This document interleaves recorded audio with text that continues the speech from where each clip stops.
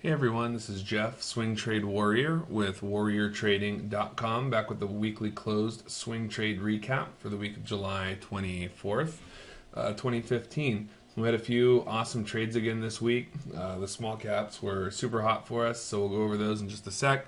The announcement for this week is our next set of live swing trade courses will begin on Monday, uh, the 27th of July. So if you're interested, uh, we do have a special offer. Anybody that signs up uh, for the swing trade class will also get a free copy of our intro to day trading course as well.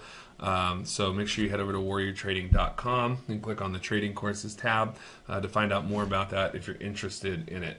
Uh, we'll be teaching uh, things from fundamental and technical analysis uh, all the way up to scanners uh, and how we screen for stocks, as well as the individual strategies, including uh, the small cap breakout strategy that I've used. Uh, that's about a 70% win rate right now since we put it into play earlier in June. So if you're interested in learning all that stuff, uh, head over to the website, check it out. If you have any questions, feel free to email me, jeff at warriortrading.com, or get a hold of me on Skype at swingtradewarrior. Okay, having said that, uh, let us get uh, the trades from this week. Uh, the first trade I want to talk about is uh, CYTK. I'm going to go backwards in order here. Uh, this trade was alerted to us on the 22nd of July. It hit our scanner. you can see here, let me zoom in.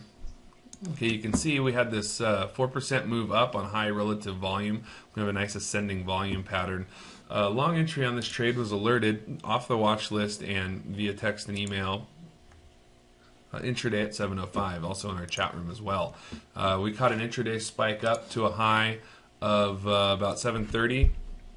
Okay, that's about a 4% move we were able to scale out of. Um, and uh, take some profits, a third of the size of our trade. So on most of these trades, we're looking anywhere from three to five uh, percent profit for our first scale point, depending on the price of the stock. Uh, we're looking for five to ten percent overall, and so uh, so far we've been really uh, nailing these trades and getting those returns.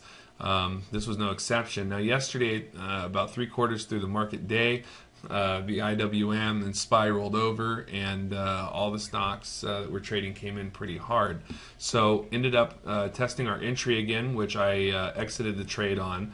Um, but toward the end of the day, the uh, markets were able to recover, and so they ended up closing around seven seven. CYTK ended up closing around seven seventeen. Uh, today, it had a move to the upside to 766, I believe was the high, 765 uh, was the high of day uh, today, Friday, the 24th. Unfortunately, I had exited my position. Uh, we had people who held through the pullback, and uh, good for them. They made another 8% today. So overall, it was about a 12% winner about a, excuse me about a 10% winner uh, for the people that did hold through it. Uh, I was uh, shaken out in the market weakness, but I was able to lock up profits at about 4% on a third of the size. So not a huge winner, um, but definitely a solid trade uh, with nice range. Okay, IDRA closed the last leg of that out today as well. That was alerted to us, IDRA, on July 21st. Okay, we had this green bar here, this 4% move to the upside with uh, ascending relative volume or high relative volume. We like to see the volume increasing uh, as the stock is moving to the upside. Now, what I was looking at on this trade uh, was this nice breakout spot TAS gives us, the TAS indicator um, that I use for this is uh, the market, excuse me, the uh, TAS boxes. And it shows a nice area of uh, resistance at 387 and it goes all the way back uh, to April 13th or so of this year. Um, it's traded sideways for a long period of time it's been in, accumula- in an accumulation phase, trading just above the moving averages, and so it started squeezing this uh, resistance area, and it looked good for a breakout. Again, this came off the old scanner.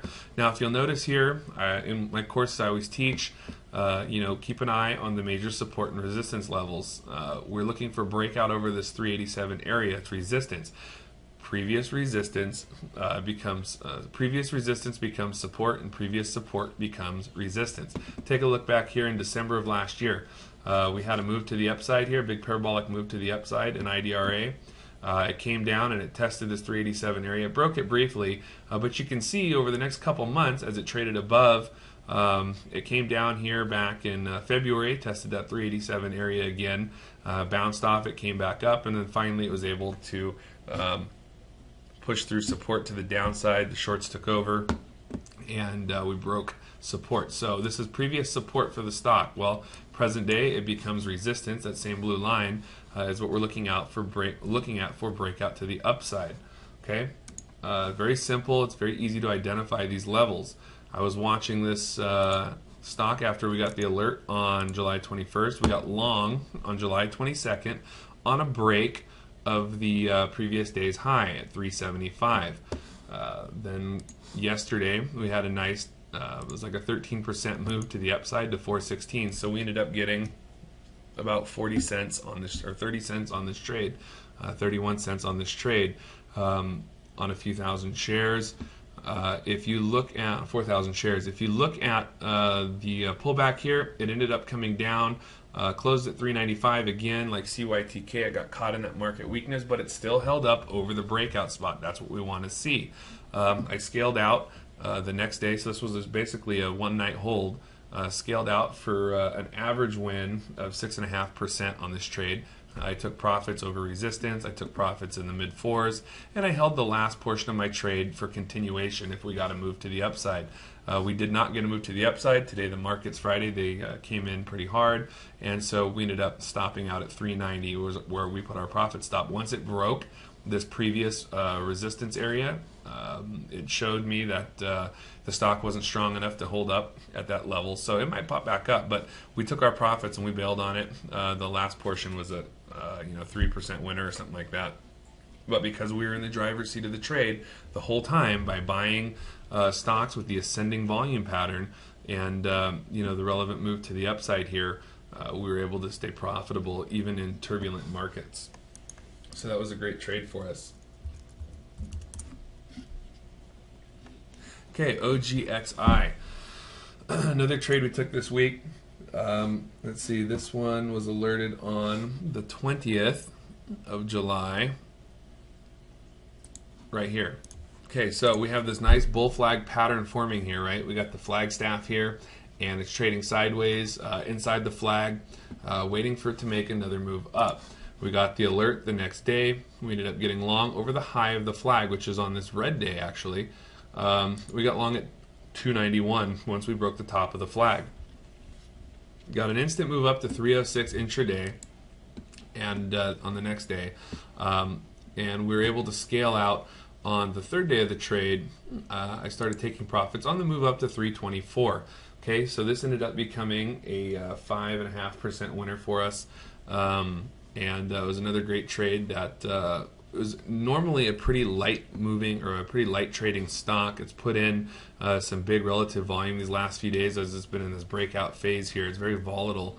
Um, early morning trading tends to be very light. Uh, and on average, it only trades a couple hundred thousand shares a day, but for the past few days, it's been trading well over a million shares. So that's what we want to see. Buyers coming into the stock, high relative volume, uh, pushing price action to the upside, and we get our breakout of 5 to 10%, and we scale out along the way. Now, move from 290 to 324 uh, today is actually probably closer. Uh, it's probably closer to 12, 15%. Uh, but because we're scaling out and taking profits, uh, predetermined areas, um, we have a realized we realize a lower percentage. But the point or the purpose of doing that is one, uh, we pay ourselves when we get into the money a, in a sufficient area uh, of profit. We take a little bit off the table and we hold a little bit for a bigger move to the upside. So we're scaling out at maybe 3 to 5%, scaling out at 6 to 7%, and we'll get out our last little portion, uh, you know, maybe at 10 or 15%, or when it starts to come back against us. But by doing this, we stay in trades longer and give them the opportunity to continue their run without just buying and selling after 10 cents or 15 cents or some arbitrarily determined amount. We put ourselves in a position to profit over a longer period of time. Now, using this particular strategy, again, I go over this in much more detail with a ton of charts and examples, uh, and I give you the step-by-step, uh, step-by-step strategy so you can trade this. And I also give you the scanner configurations uh, so you know what you're looking for uh, in the course uh, basically, we're looking for a three to five day move um, you know, in in the trend. So you know, here we got one, two, three, four, five. Even though this was a red day here, it never broke any previous candle lows. Um, so uh, this would be considered, a, you know, four or five day trender, uh, and we're looking for an average of five to fifteen percent of a move during that three to five day window. Okay, this gave us uh, clearly gave us that five to fifteen per five. Excuse me, yeah, five to fifteen percent. This clearly gave us the five to fifteen percent. We were able to scale out, lock in our profits, and this was a great winner for us. Okay, a couple of trades that didn't work out. BSMX was a small loser. Uh, we took early in the week.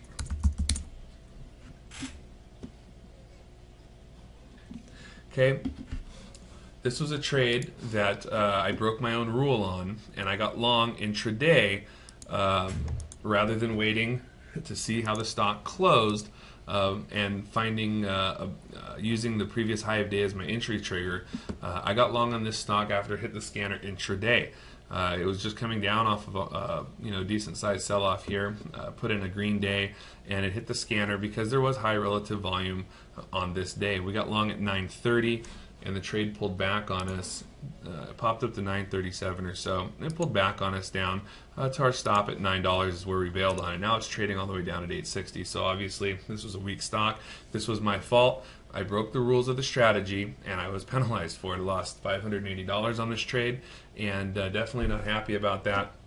It came against us uh, pretty quickly after our entry, and uh, you know it's just a good reminder, an expensive lesson that uh, the rules of the strategy are in place for a reason we need to follow them. So even uh, you know someone who's been trading for as many years as I have, I still make mistakes, and uh, this was one of them. But it's a good reminder, a kick in the pants to uh, not do this again. So not a huge loss here, uh, but once it broke this nine dollar support area, you can see it acted as support right here, resistance right here, and then support a couple weeks ago. Uh, once it broke that, we don't want to be in the trade because it's just too weak. Okay, the last trade we took this week, or the first trade we took this week, so I'm going backwards, was on Tube. Uh, let's see, we got the alert on on Tube on the 20th also. Okay, so let me put that right here. Okay, so the alert came in on this big green day. Again, another flagging pattern, uh, breaking the top of the flag here. Oops, excuse me, breaking the top of the flag. Um,